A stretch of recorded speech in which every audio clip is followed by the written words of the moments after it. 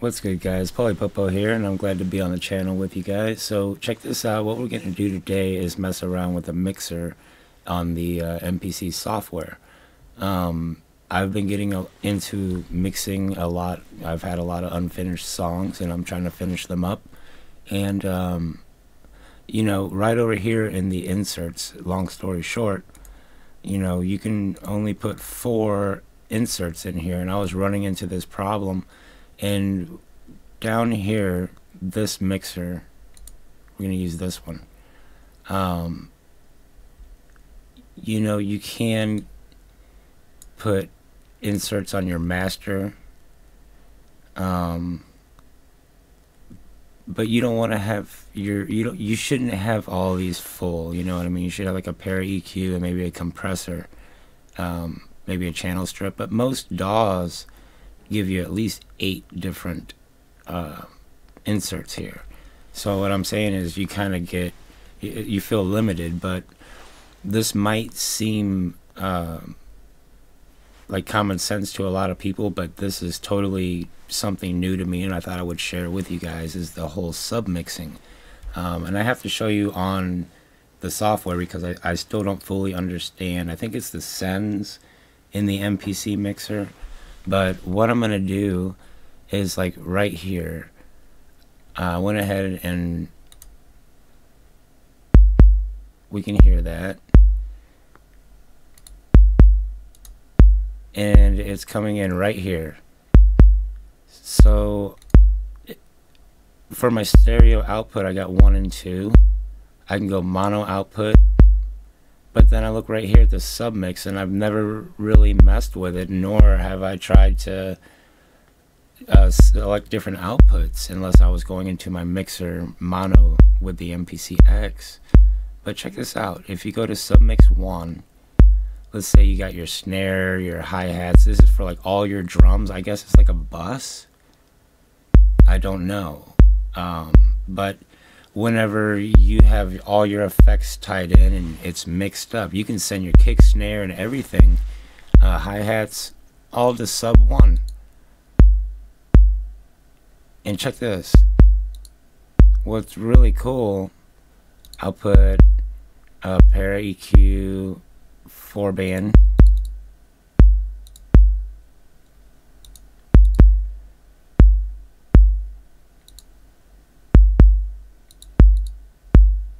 put that. We'll go here to dynamics, put a channel strip.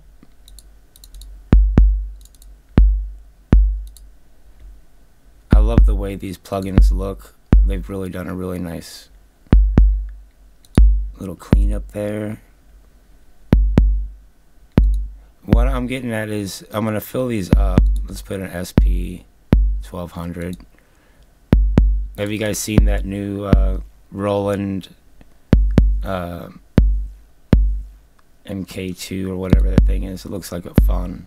It looks like some real cool stuff. Uh, and I'm going to go ahead and put a delay. Just because.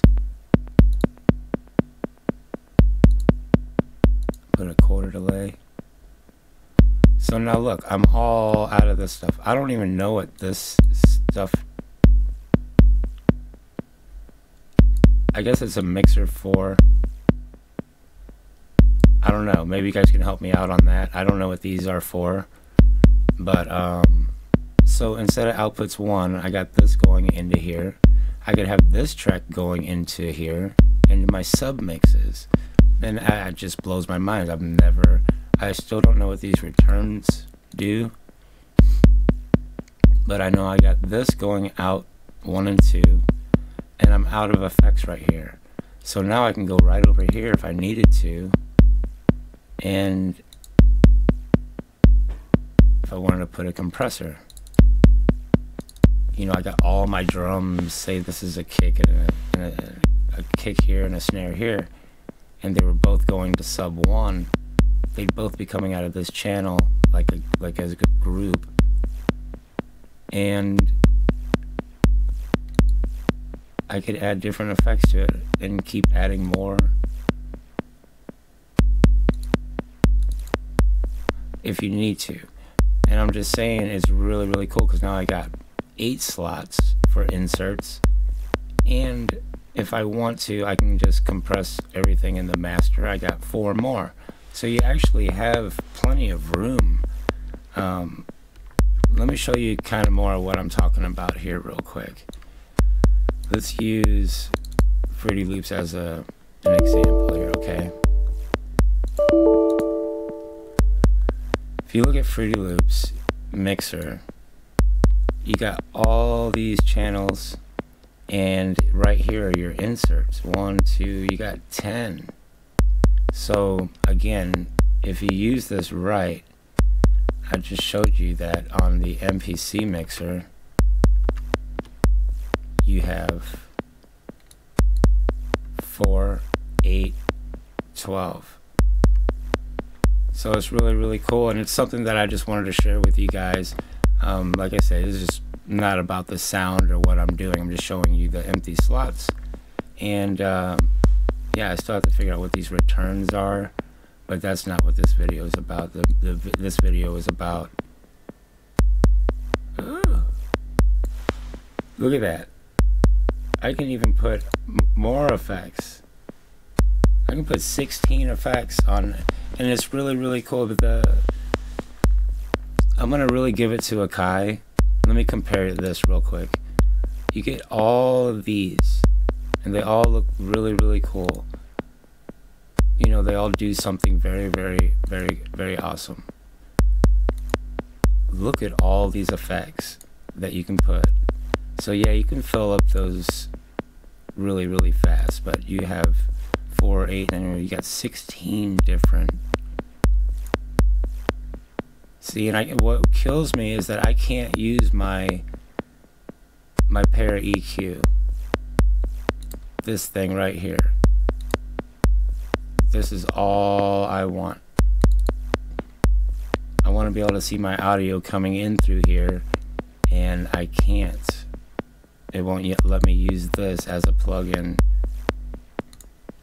But again, I, that's not what this video is about. I just thought I would share this with you guys because I thought it was like a limited thing where I only had four different different tracks, but or four different inserts.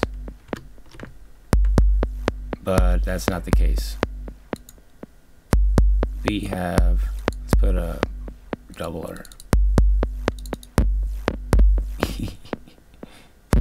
Right on, guys. I'm Poli Popo, and I hope this helped you out. It's about having fun, and a lot of the time, whenever you're listening to a sound on your uh, MPC or whatever it is, it's the sound that inspires you to do something else. So use those effects and know that you have 16 slots. You're not limited to just four. Right on. I'm probably done here, and I appreciate you guys very much for watching. I'll talk to you later.